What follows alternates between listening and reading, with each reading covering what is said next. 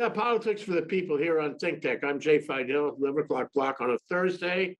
We're talk about voting rights. You know, are we uh, losing it on voting? Are we sailing right into a voting rights disaster? Uh, our guest today, Tim Apicella, Winston Welch. Thank you for joining us, gentlemen. Good morning. So let's begin with you, Tim. um, you know, where are we on voting rights? It's like it's not on the top of the media priority list. People used to talk about it a lot. They're not talking about it so much. Um, where are we, and how much time do we have, and what are the what are the prospects of of running a federal um, voting statute? Um, it's not on the top of the list because infrastructure is. Um, we said earlier on in the administration that the the Biden administration can walk and chew gum at the same time. I don't think they can. so infrastructure has sucked all the air out of the room. Uh, it is a priority, and I think as soon as infrastructure gets done at 1.75 trillion, uh, that they will they will move ahead on it. And you know, I think Joe Manchin has to look at where he is. You know, he was tasked with the responsibility of getting 10 Republican votes to come over the other side of the aisle and, and vote in a, a reasonable voting rights bill. Um, he hasn't been able to get one vote. And I think because he was a co-signator on that legislation, I'm wondering if he's now willing to look into some modification of uh, the filibuster that pertains strictly to uh, voting rights. And I think maybe he will. Uh, it's got to take a certain form and a shape that he'll he'll find that's not too onerous. But I think he'll come over and there will be some modification of a of a filibuster and we get something done. It won't be, again, it's like the infrastructure. You don't get everything you want out of a bill. You're going to have to, was, you know, it used to be a, a not a dirty word, but now you're going to have to compromise. And that's not a dirty word. That's how politics used to be. And that's, that's how it should be versus my way or the highway. Yeah, Winston, but in politics before, we didn't get a stroke by stroke conversation by conversation, caucus by caucus, point by point discussion. We'd find out, you know, in the newspaper that a bill had passed. Okay, it passed. And then we'd look at it. But the specifics are known to so many people, the specific conversations, negotiations, you know, and, and, and really it's in a huge amount of time and what do you want to call it, oxygen, attention um, by the public to hear about everybody's aspirations for what's in, what's out, how much, how little. Um, is this constructive or is this a waste of time when we should be focusing other things like voting rights? Well, ideally, it, it's uh, uh, the, the, the people having input on all of these things is what uh, we aspire to. But in fact, as you point out, it may just create chaos, confusion, and dissent so that everything gets killed before it even has a chance to, uh, to see the, the, the, light of day. And uh, that can be problematic, uh, certainly, and we see that now uh, with so many angles coming in. Know, I would like to think that um, that everyone sort of chiming in is exactly what we need, but when when these positions are so hardened in advance, it makes these uh, for lack of a better word, kind of backroom deals where the work actually gets done and is able to get done, uh, almost impossible to do. And you, I think that Joe Manchin, you know, and, and, I said before, we have a, a political class or we have a political, a ruling elite. In a sense, we do. I mean, we are in charge of those folks, but they're the ones that have to go down, drill down deep. They rely on advisors. They rely on um, think uh, uh, tanks and, and associations and all types of you know unions or whatever to to have input in that. But you look at Joe Manchin, and I think he probably actually is still believing that there is a this uh, you know idea in the Senate that you come together, that you discuss ideas, that the best ones float to the top, that you can have this. Um, uh, sort of uh, comity in the in the Senate where you can reach across the aisles, you can meet your friends, you can say this is reasonable and rational and sane, and he fell completely flat on his face, as Tim just pointed out. Not one person crossed the aisle when he said, I, am not going to do what you Democrats want to do. I'm going to do what what I think is best for the country." And Aren't you being charitable with him? Tom, Uh, Aren't you being cha- charitable with him? I mean, the fact is, he's, you know, the bottom line on this is he dragged it out for 120 days. And uh, it's, it's hard to actually get a beat on what he wants or what he has wanted. But the, but the net effect is he's dragged it out for 120 days. yes. Um, And I almost think he's working for Mitch McConnell. Uh, well, you know, I mean, that idea was floated last week when they said, "Are you thinking of changing parties?" And we've discussed on here that he's essentially. I mean, it's uh, it's amazing that he's still even nominally in the Democratic Party, but he's clinging on to that for whatever reason. So he has no. You know, he could switch to being a Republican or an independent in five seconds, and, and he would not be heard in his home state, in the state that probably had the widest margin, or one of them, for Donald Trump. So he's he wouldn't be hurt by switching. That makes me feel like there's. I mean, he could be a plant and just to, to obstruct the Democrats, but why bother? Why not just switch over to the Republicans? I think he actually does have an old-fashioned desire, which I think most of us do, to to, to bring back sanity and um, and an ability to come together and compromise, like Tim said, on. On, on getting the work of the people done, and he has stalled But- along. but meanwhile. We are spending an enormous amount of time and energy following bills that are, hmm, you know, maybe Tim wins the bet between us and maybe I do. But, but there may be no infrastructure bill um, and there may be no change in the filibuster. And at the end of the day, it's a dull thud. Um, and the bottom line is with all of that, no voting bills. And uh, let me, let me ask you, Tim, and how important are the voting bills? In the larger sense, in the sense of preserving our democracy. Uh, critical. But before I answer your question, I want to get just comment on uh, a point that Winston made. I think Joe Manchin won't be elected dog catcher in West Virginia because uh, Donald Trump would label him as a RINO, and whatever Donald Trump says goes. So I think J- Joe Manchin would have a problem if he declared himself as least a Republican. Now, maybe he can get away with it as an independent. I don't know, but um, I think he would have problems, and that's why I think he's sticking with the Democratic Party. Uh, Let me add one point to your point, Tim. Uh, he may not care. At the end of the day, he has interests in coal. And while we're fiddling, he is making millions in coal. And he is pulling uh, the environmental provisions, you know, the renewable energy provisions right out of Biden's leg- legislation. And everybody knows it and everybody knows why. Uh, so he may be going back there, West Virginia, a rich, rich man, and it may not matter. Yeah, okay. Point well taken. To answer your question, it's absolutely critical. And I think what's critical part of it is the aspect that these states are ripping out professionals, uh, unbiased, uh, objective uh, secretaries of state and election election officials, and all these state bills that give the legislature the right to put their own people in to oversee the election. That is the most dangerous, critical part of what these states are doing. And we all know how these states came about to do this because they said, of course, it was uh, Donald Trump's election was stolen from him through fraud and all the false things that they keep on drumming about. But um, so, yeah, you need a, a national bill to stop the placement of your cronies to oversee and count election results.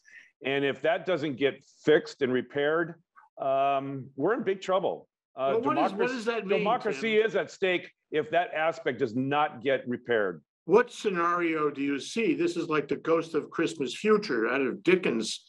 Yeah. What scenario do you see? We're in big trouble, but what is that?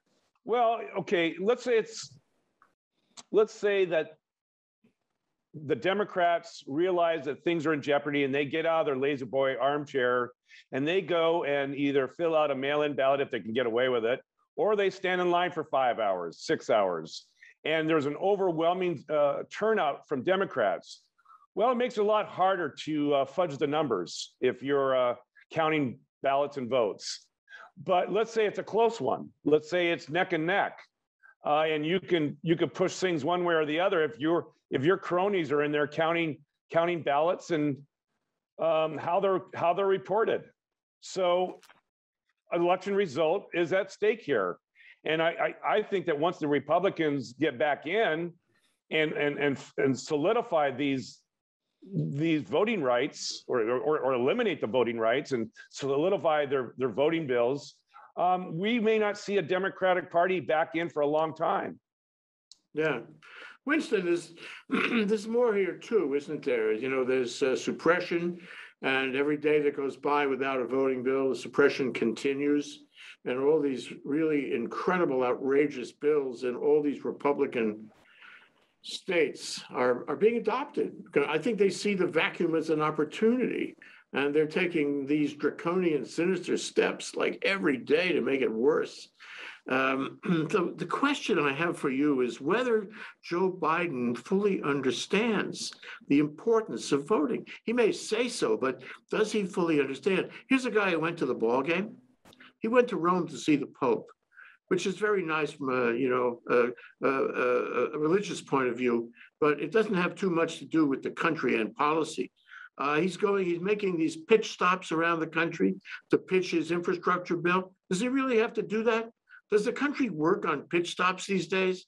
Can't you reach people by other ways without having to leave Washington? Um, he doesn't seem to be focusing on voting at all. So my question to you, Winston, is does he understand the priority here? Well, remember why why Joe Biden is president. He, he's an he's an honorable. He's a good man. He's a, a good politician, given good faith partners. But the reason why he was elected wasn't because he was Joe Biden. It was because he wasn't somebody else. And uh, we all know that. Um, he's not using his. Uh, his cabinet to the their their full potential. I don't think he's not having Pete Buttigieg go out all the time on Fox, who loves him apparently and likes to have him on because he kind of talks back in a sassy way and um, gives them what they want. He's not using Kamala Harris. I don't even know where she is. Uh, you know, the Attorney General is is uh, you know independent, and we're glad to have that. But there's a lot of other departments that could be out there pounding the pavement, getting out the message, being the Eleanor Roosevelts uh, across the land, and and selling what we need to uh, to have sold. I mean, we need to be buying wholesale. He's also dealing with a an insane pandemic, which is not gone, by the way, and maybe who knows maybe his his uh, going to the rome you know the pope did say that it is it, it's a duty of, of, of, followers of that faith to get vaccinated. So that may have helped uh, get a little push behind uh, having some moral authority from the head of the, the, the Catholic Church. Joe is uh, Joe Biden is. Um, you know, he's got so much to deal with. I don't know how he wakes up in the morning and decides what he's going to focus on, but it looks like he's getting some sort of um, some sort of infrastructure bill that's coming through. You have these obstructionist uh, two folks of, of Kyrsten Sinema, who I can't understand what she's thinking about, and Joe uh, uh, Manchin, who is a little seems a little bit easier. And we may say yes, he's gotten a lot of money off of coal. I don't know, Tim, when you say about, about the, the, Donald calling him a RINO and, and that he could, that might be, but I think these people in West Virginia are particularly loyal to him. Um, yeah, I don't know. I mean, we'll, we'll, be seeing who is primary, as it were. Um, does Joe Biden Trump, Trump took, uh, Trump Joe took uh, Biden, uh, West, Trump took West Virginia by 40 points. yes, yes. He did. Well, they're they're solid on. Joe, but Joe Manchin's the only Democrat elected and the only one who could be elected with a D after his name. I don't think they're voting for him because he's a Democrat. I think they're voting for him because he's Joe Manchin. Um, and and his and, and and he was what he was the governor and he was a, a mayor and a Congress a, a representative. He's oh, he's well loved. No two ways about it. Well loved, and he brings home the bacon as much as he can to West Virginia. So, and right now he's saying no clean energy. I you know if Exxon or, or Shell or Tesla wants stations around the country, you guys put them in yourself, or maybe it'll go to the states. Maybe California will put them in. I don't know how that's going to work, but Joe is Joe Biden's going for what he can get at this point, and at this point, it's a very truncated version of what he was looking at uh, at doing. But anything at this point is going to be better than nothing. Yeah, well, but but voting, I think we agree that voting is critical. Does he fully understand that?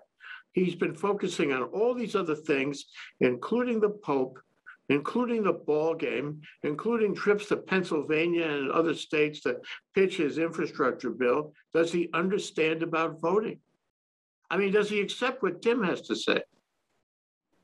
Even if he does understand about voting, and let's assume that he does, and that everyone around him does, including the Democrats and the Republicans, how many how many uh, voting bills have been uh, enacted uh, or in the state legislatures around the nation that are anti-voting? That uh, you know, it's it's a Well, I mean, it could be, And- it could be, Winston, that he and has you've got the written it off.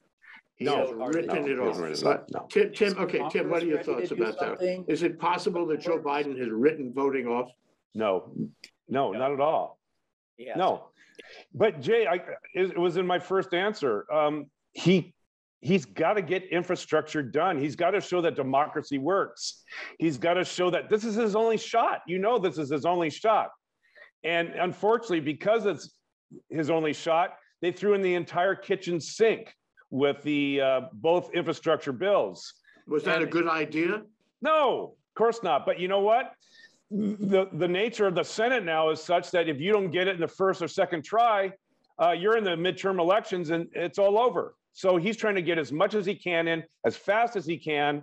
And he knows that um, the kitchen sink's not going to work, strategy is not going to work. So he'll settle for whatever he get, but he has to get something. That's why he knows he's on the weekend of negotiations with Joe Manchin and Sinema. He knows it. He knows they, they have him over a barrel and he'll We've give them whatever they about want. this. You know, right, it's just like in a, in a business negotiation or a legal negotiation. You know, the worst possible position to be in is making two offers in a row. Yeah, It I agree. demonstrate weakness and you will never settle on your terms that way. You will always be chasing the other guy. And that's what's happening. Manchin and Sinema say, well, Well- that's not good enough. Come further, come some more. We're not going to tell you when you actually hit pay dirt here. Just come further, give us more. And, and um, I, you know, I, I think that speaks of a, a- a tremendous delay and also a failure. I want to address your point there because, I, you know, in all critical negotiations, you try not to get in front of the media and let it out what you're negotiating about. You keep it under wraps. And and for you know Jayapal and, and Joe Manchin and to be out in the camera each and every day talking about what they're not going to give up, it puts them in a corner so that if they do give it up, um, they look like they're not true to their word. They look like a flip flopper. So Nancy Pelosi, Chuck Schumer should be saying to everyone, would you keep out of the cameras until we have a firm agreement, until we have a solid deal? Um, but they don't. And this is why this thing has been protracted and has, has gone on as long as it has because all the positions become fortified and then it's harder to budge away from them. It's harder to compromise. So um, one last point, Jay, you know, regarding Joe Biden to the Pope. Um, lot of white male over 55 are Catholics and they're Trumpers, definitely Trumpers. And so any kind of um, photo ops that Joe Biden get with the Pope um, would only help somewhat in that effort to try to sway them a little bit, not a lot of bit, but a little bit. Hmm. How about the trip to Scotland? Well, that's that's the the environment. That's that's critical. Yeah, we got to be see that we are we're, we're a nation of action versus lip service, and I- think that's why he's willing to give up a lot of the negotiations over to a- Manchin because he's got to have something in his pocket before he goes to Glasgow. Okay, I just, I get a guy with too much on his plate. Now, he these are critical. which- These are critical meetings that he's attending, and I I see where you're coming from, but they're still critical too. When I was a kid, you know, my mother would put a plate of food out in front of me and it would have the peas and the carrots and the potatoes. And as, as I was eating the peas, she would say, what's the matter with my potatoes? Eat the potatoes. And then I would eat the potatoes. And a minute later, she would say, what's wrong with my peas? You're not eating my peas. The problem is that, you know, the political calls are calling him and he's dancing from the carrots to the peas to the potatoes. And I wish he'd just focus. Um, Winston. And letting his Swiss steak get cold. Winston, you know, one of the problems that we really haven't addressed is this. we have all these Republican states doing voter suppression and gerrymandering. It's really horrible. There was a piece, I think, on Rachel uh, Maddow the other day where she showed you how they twisted an area, a Latino area in Texas, and made it into a non-Latino area. Millions of people are going to be disenfranchised. It's incredible what they're doing. It's shameless. But you know, this is happening around the country, and we have suppression, we have gerrymandering, we have impossible, um, you know, provisions on voting voting officials. Um, how the legislature can turn the vote over. I mean, I could go on. There's a, you know at least half a dozen really really awful things that are in the playbook, and the playbook repeats itself from state to state. Um, not exactly the same, but what's happening is a you know, people are wondering what happened to infrastructure. You know, we get all this noise about it, but we don't have it. And how long do we have to wait? And what's it going to be like when it's over? They're confused. Okay, and then you hear um, about the Roe v. Wade thing, which um, you know was also very confusing. What's going to happen here? And and the Supreme Court is going to take take it up in a Mississippi case in December. That's going to be really interesting to see. Hopefully, it resolved properly. But what I get is complete confusion because as the Republicans are undermining our voting rights all over the country, people all over the country are getting confused.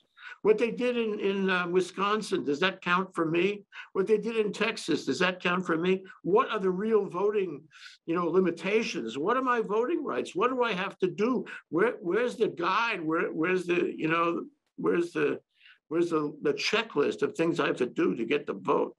And I think that as time goes by and this kind of thing happens, and there are no voting rights bills in Congress, people are going to be completely confused. And then after the election, whether it's close or far, the Republicans are going to confuse it further. They're going to turn it around, turn it over, have the voting, you know, voting officials do bizarre things. Um, and nobody will know which way is up. It'll be in the courts for years about who won. Don't you see the confusion as a huge side effect of failing to pass the bills in Congress?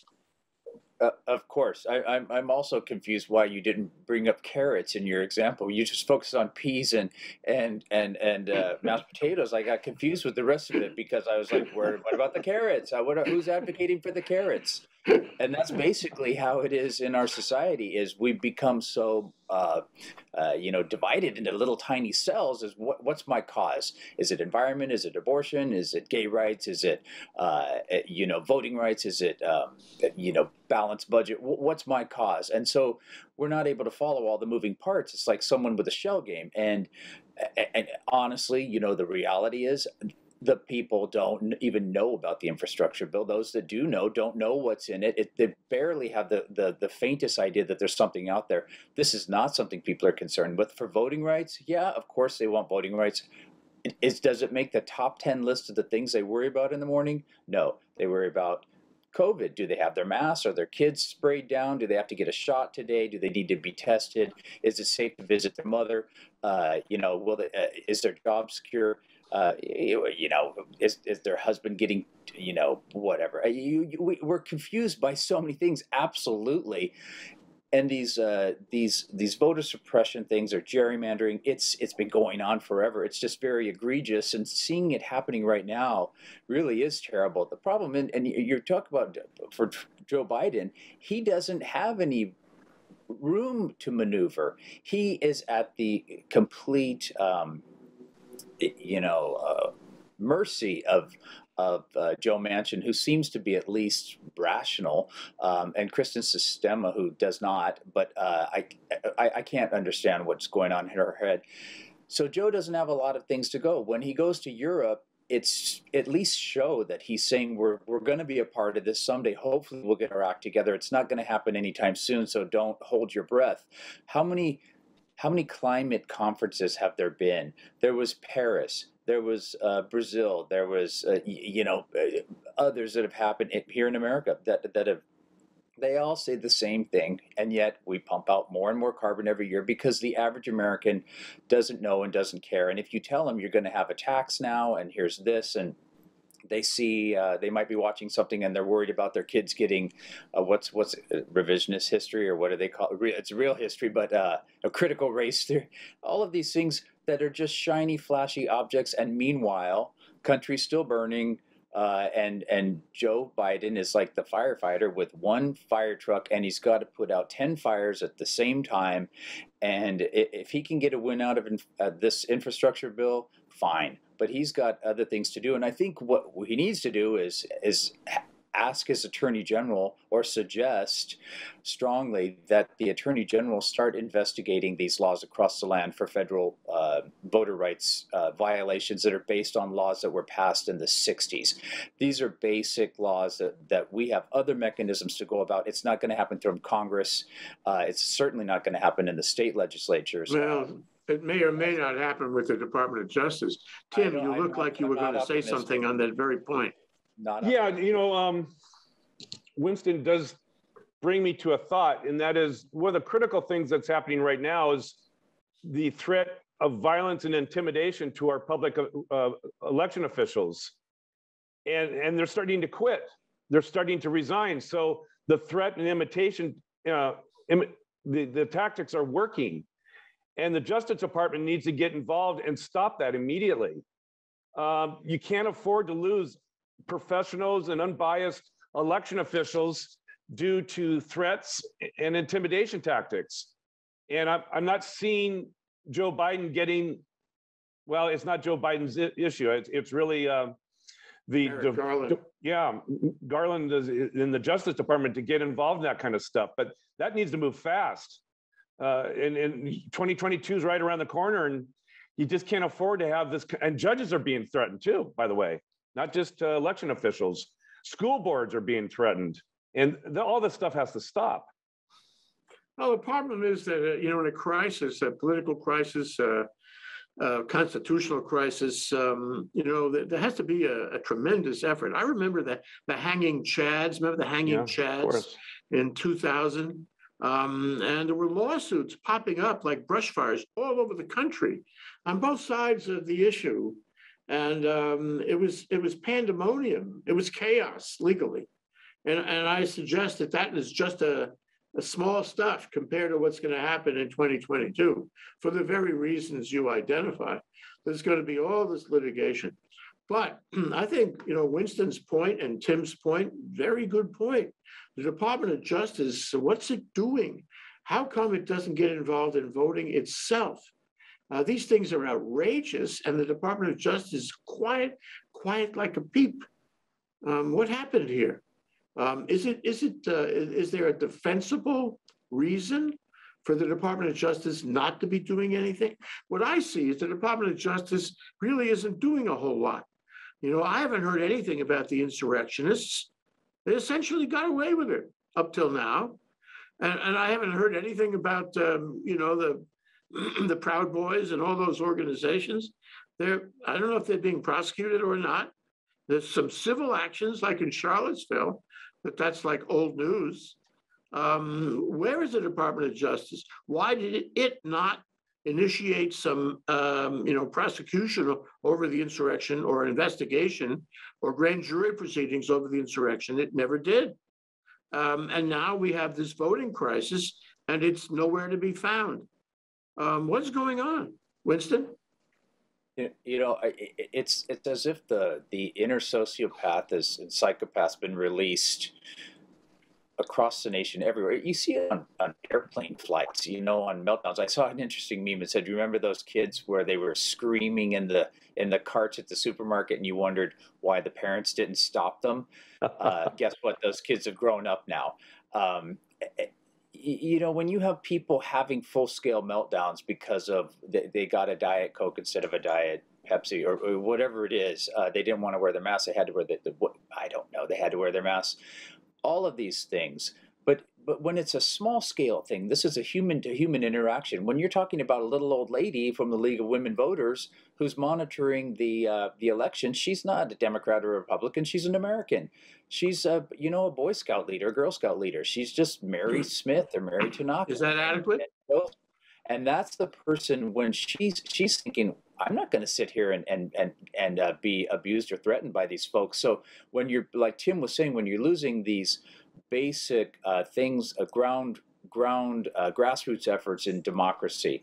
neighborhood boards, uh, commissions, uh, where people just are, are, are, are either threatening them or having full scale meltdowns, and people are thinking, I'm just going to go home and watch uh, The Sopranos or or whatever's on, you know. Well, I think a lot of people do that. They they have fatigue, not only fatigue on the carrots and the peas, but they have fatigue on the whole plate. And they're tired of hearing their mother saying you have to go to the peas or the carrots now. They just want to go watch the TV now. Forget about it. You know. That's Okay, right. Winston, let's let's go to closing because we um, we have another event in the studio that we have to take care of at eleven thirty. So take a minute and give us your closing thoughts here. Closing thoughts are that uh, unfortunately, just like the child that's having the meltdown in the supermarket, parent needs to take them outside, pick them up, and say, oh, "Not having this in, in, in public. This is unacceptable behavior." We need to do that as a society at large, where we say, when you have these meltdowns, when you have these these threats or this the harassment of uh, officials, whether it's a neighborhood board on up to a judge or, or commissions or, or city employees or whatever it is, you will be arrested, prosecuted. This behavior will not be tolerated. We need to enact it at the city, the state, and the federal level. And the Department of Justice and our state attorney generals need to be involved with this, and city I agree, totally. Thank you. Uh, Tim, your closing comment? My closing comment, no matter where we go from this point forward, there's enough vitriol from one side to the other. Specifically, the Republicans hate Joe Biden and Democrats. So it's time for the Democrats to wake up. It's time for them to realize no matter what great policies or or great incentives we give or stimulus we give to Republicans, they hate our guts. So it's time to realize that, say, there's no pleasing them. The only way they're pleased is if they get back in power and they stay in power. So what do you have to do? You're going to have to do as Winston suggests. You're going to have to indict and prosecute, stay within the boundaries of the rule of law, but not play naive and, and simplistic. Go and play hard, play tough. Don't bring a soup ladle to a gunfight. And the second the Democrats finally realize that they're not liked, they're not loved, um, they're going to have to play tough, and and that will that will settle the the playing field a little bit. Clearly, we're at a tipping point. And, and the fulcrum of the tipping point is voting rights, because that's where it's going to play out. Agreed. That's where we're going to retain our democracy or not.